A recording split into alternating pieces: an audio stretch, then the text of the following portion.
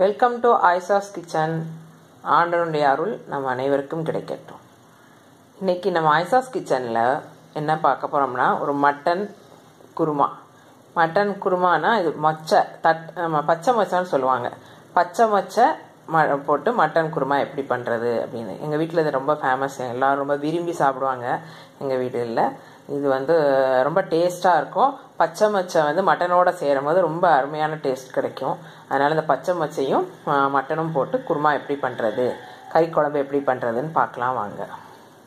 பாருங்கள் அதனுடைய அந்த மெத்தட்லாம் உங்களுக்கு ரொம்ப பிடிச்சிருந்ததுன்னா கண்டிப்பாக நீங்கள் சப்ஸ்கிரைப் பண்ணுங்கள் ஷேர் பண்ணுங்கள் இதை வந்து ம இந்த மெத்தட் வந்து இப்போ ரொம்ப யாரும் பண்ணுறதில்ல இதை வந்து எல்லோரும் பார்க்கட்டும் எப்படி பண்ணுறாங்க அப்படின்னு சொல்லி பிடிச்சிருந்தா அவங்களும் பண்ணி பார்ப்பாங்க. ஓகே வாங்க எப்படி பண்ணுறதுன்னு பார்க்கலாம். பச்சை மச்ச காய்ங்கிறது இப்படி தான் இருக்கும். இந்த பச்சை மச்ச காயை வந்து இதைத்தான் நம்ம கறி குழம்புல அதில் உள்ள உள்ள பயிரை நம்ம போட்டேன். உள்ள உள்ள பயிரை அதனை எடுத்து இந்த ஸ்கின்னை ரிமூவ் பண்ணிவிட்டு அந்த உள்ள உள்ள பயிரை நம்ம போட்டோம். அது வந்து இந்த பச்சை மச்சை இருக்கே இது இது வந்து உரிக்கிறதுலாம் கஷ்டம்.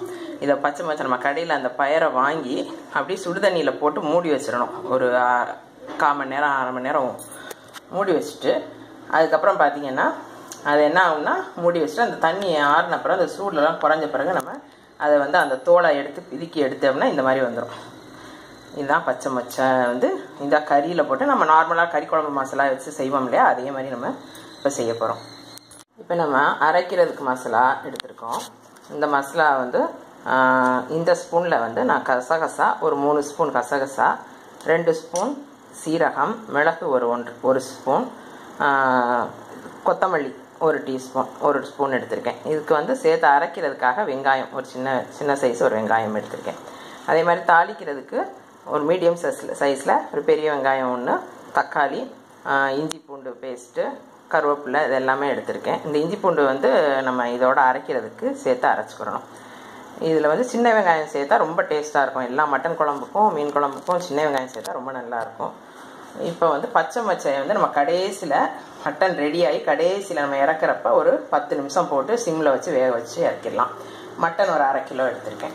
இதுதான் இதுதான் அரைக்க வேண்டிய மசாலா. இப்போ நம்ம இதை அரைப்போம். வெங்காயம் வதங்கிடுச்சு. நம்ம அடுத்து தக்காளி கருவேப்பிலை சேர்த்துட்டோம். இதை லைட்டாக உப்பு சேர்த்து வதங்க விட்டுருவோம். கொஞ்சம் உப்பு சேர்த்துட்டாலே கொஞ்சம் அதுலேருந்து நீர் பிரிஞ்சு வரும். சீக்கிரம் நமக்கு தக்காளி வெங்காயம் வதங்கிடும்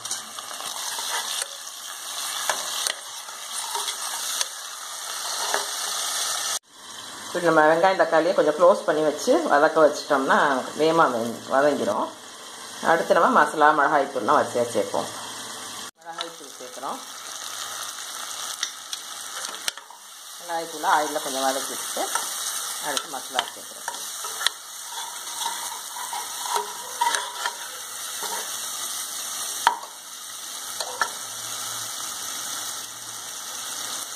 இப்போ மசாலா தூள் சேர்க்குறோம்.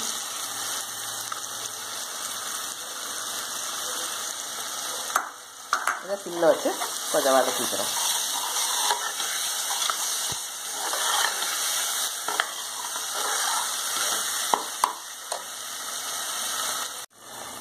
நல்லா எண்ணெய் பிரிஞ்சு வந்துருச்சு. நம்ம மசாலாலாம் வதக்கியாச்சு. மிளகாய் தூள் போட்டு வதக்கியாச்சு. இப்போ மட்டன் சேர்த்து உப்பு சேர்த்து வேக வைக்க போகிறோம் இதே மாதிரி ஒரு விசில் வந்தோடனே நம்ம ஒரு பன்னெண்டு நிமிஷம் சிம்மில் வச்சுட்டு பன்னெண்டு நிமிஷம் அவ்வளோதான் இப்போ மட்டன் சேர்த்து நல்லா பெரட்டி உப்பு சேர்த்தாச்சு. இப்போ நம்ம மசாலா தண்ணி அரைச்ச தண்ணி இருந்ததெல்லாம் சேர்த்து இப்போ நல்லா கிண்டி விட்டுட்டு நம்ம குக்கரை மூடிடுவோம்.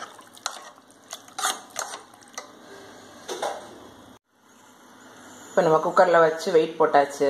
ஒரு விசில் வந்த பிறகு நம்ம சிம்மில் வச்சிடலாம். வச்சு ஒரு பன்னெண்டு நிமிஷம் வச்சு இறக்கும்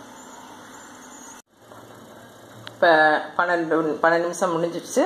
நம்ம குக்கரை திறந்து பார்க்கலாம். வா சூப்பராக இருக்குது பாருங்கள் எப்படி நல்லா கலராக இருக்குன்னு குழம்பு. இந்த மாதிரி நம்ம மசாலா வாசனை சூப்பராக வருது.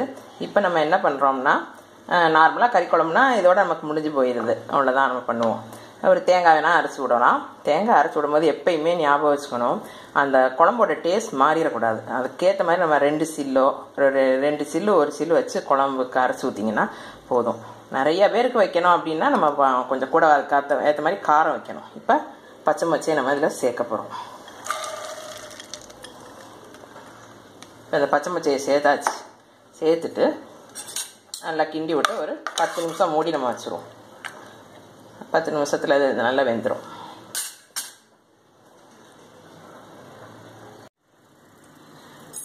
இப்போ நம்ம மட்டனால் மட்டனோட அந்த மொச்சையை சேர்த்து நம்ம வேக வச்சோம் இல்லையா? பத்து பன்னெண்டு நிமிஷம். மீடியம் ஃப்ளேமில் வச்சு வேக வச்சுட்டேன். நல்லா வெந்துருச்சு. நல்லா மட்டனும். அதுவும் சேர்ந்து நல்லா வெந்துருச்சு. இப்போ நம்ம மல்லித்தலை சேர்த்து இறக்கி நம்ம டிஸ்ப்ளே பண்ணிடுவோம். மல்லித்தலை சேர்க்குறோம்.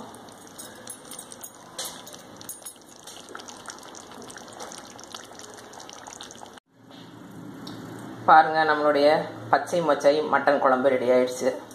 ரொம்ப அருமையாக இருக்குது டேஸ்ட் வந்து சூப்பராக இருக்கும். எல்லோரும் அந்த பச்சை மொச்சையை தான் எடுத்து எடுத்து சாப்பிடணுன்னு இருப்பாங்க. அதனால் இதில் நான் ஒரு அரை கிலோ மட்டனுக்கு முக்கால் கிலோ மொச்சை சேர்த்துருக்கேன். அதனால் ரொம்ப அந்த அளவு நம்ம ரேஷியோ கரெக்டாக இருந்தால் கூட பச்சை மொச்சை போட்டால் கொஞ்சம் வாடை அடிக்கும். அதனால் இந்த ரே- இந்த அளவு போதும். அரை கிலோ கறிக்கு ஒரு முக்கால் கிலோ மொச்சை போதும். அது டேஸ்ட் நல்லாயிருக்கும் இதே மாதிரி மெத்தடில் செஞ்சு பாருங்கள் தேங்க்யூ